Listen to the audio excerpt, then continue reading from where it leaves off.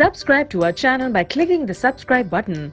Click the bell button and enjoy the latest uploads from our channel. ने जो 2002 का police order खत्म किया 1861 का बहाल किया उसको इसी फैसले में अदालत ने तस्लीम किया है कि वो दुरुस्त दुर, जो असम्बली का इख्तियार था लेजिस्लेशन का वो दुरुस्त उन्होंने इस्तेमाल किया है तो अगर लेजिस्लेशन का इख्तियार असम्बली के पास है तो हम देखेंगे कि इस मुश्किल से निकलने के लिए और क्या रास्ते अडॉप्ट किए जा सकते हैं मैं समझता हूँ कि असम्बली को इसमें अपना किरदार अदा करना चाहिए और ज़ाती तौर पर मैं अपना नुक़ नज़र असम्बली में भी रखूँगा, अपनी पार्टी में भी रखूँगा। पार्लियामेंट में एक डिबेट हुई थी कि नैब का जो अदारा है, इसको खत्म करके नया अदारा बनाया जाएगा। उसमें हुकूमत और अपोजिशन जो थी, दोनों ने एग्री किया था कि एक नया अदारा स्टैब्लिश किया गया, जाएगा जो एहसाब के अमल को शफाफ तरीके से करेगा। उस हवाले से मामला कहाँ तक पहुँचे हैं हुकूमत और अपोजिशन में?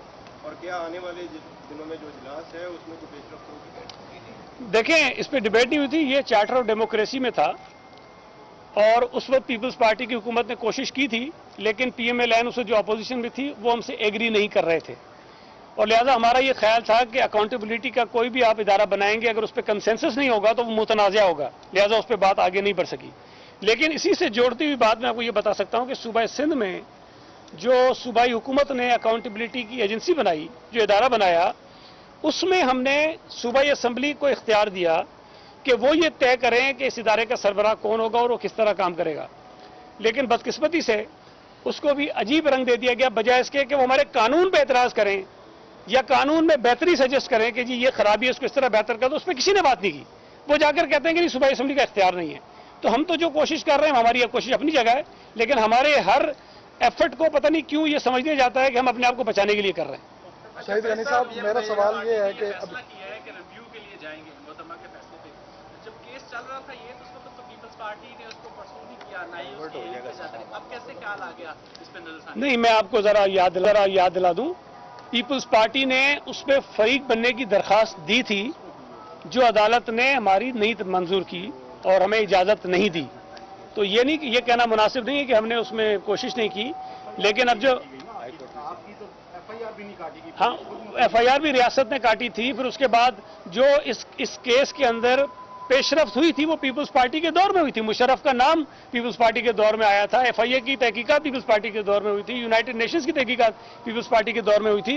ये सारी चीज़ हमारे दौर में हुई बहरहाल उस वक्त हमें इजाज़त नहीं दी गई कि हमसे फरीक बने। लिहाजा हमने कोशिश की है कि अब दोबारा इसके अंदर जाकर हम एक अटैम्प्ट करें। और जो फैमिली है शहीद बीबी की वो इसके अंदर चूँकि हम समझते हैं कि मुतासर फरीक वही हैं और उनको हक होना चाहिए कि उसमें जाएँ।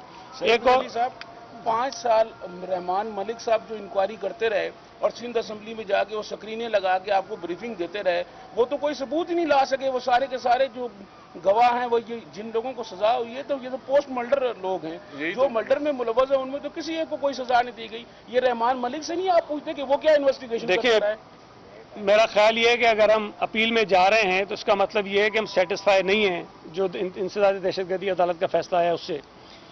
दूसरी बात यह है कि जिन लोगों को बरी किया गया है, उन लोगों ने तो खुद एतराफ़ जुर्म किया हुआ है। और बहुत सारी चीज़ें उस अदालत की जो प्रोसीडिंग्स हुई हैं, उसमें रिकॉर्ड का हिस्सा हैं। तो मुझे तो समझ नहीं आता कि वो लोग बरी किस तरह हो गए, लेकिन बहरहाल एक अदालत का फैसला है। रहमान मलिक साहब वज़ीर दाखिला ज़रूर थे, लेकिन उनके पास ये इख्तियार नहीं था कि वो किसी को सज़ा देते या किसी को बचाते। वो तहकीकात करने वाले इदारों की मदद कर सकते थे और उन्होंने की हैं। लेकिन एक फैसला आया है, अब उसके खिलाफ अगर हम अपील में जा रहे हैं तो जो चीज़ें हमारे पास हैं, हम ज़रूर उस अपील आईजी सिंह के फैसले के खिलाफ अपील की जाएगी। असेंबली के पास लेजिस्लेशन का इख्तियार है और असेंबली को अपना किरदार अदा करना चाहिए। नैब ने आसिफ जरदारी की बरियत के खिलाफ अपील की है। नैब की अपील दायर करने पर नहीं, बल्कि नैब के रवैये पर एतराज़ है। ऐसा कहना है पीपल्स पार्टी के रहनुमा सईद गनी का, जो कि इस्लामाबाद में न्यूज़ कॉन्फ्रेंस कर रहे हैं। यहाँ पर आपको अहम खबर से आगाह करें। आईजी सिंध, एटी ख्वाजा ने पुलिस में 7 जुलाई के बाद होने वाली तमाम तकर्रियाँ और तबादले मनसूख कर दिए हैं। तमाम अफसरान को पहली वाली पोजीशन पर वापस जाने का हुक्म दे दिया गया है, जिसका एलामिया भी जारी कर दिया गया है। इस हवाले से तफसलात लेंगे। हमारे साथ मौजूद हमारे नुमाइंदे काशिफ फारूकी से। जी, काशिफ फारूकी, आईजी सिंध ने अदालती हुक्म के बाद अपना पहला एक्शन ले लिया है। बताइएगा इस बारे में।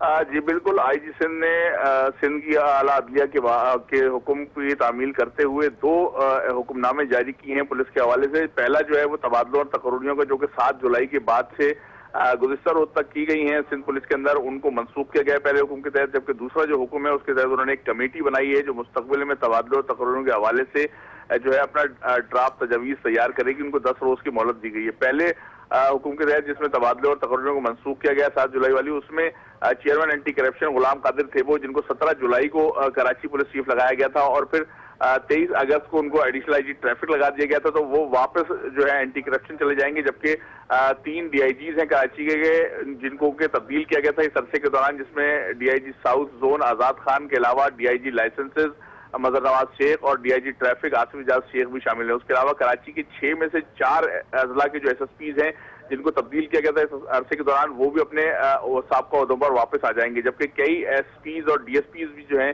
जिनको तब्दील कर दिया गया आईजी सिंह की मर्ज़ी के खिलाफ, उनको भी जो है अपने उहदों पर वापस आने का हुक्म दिया गया है। जी। बहुत शुक्रिया काशिफ फारूकी अपडेट करने के लिए।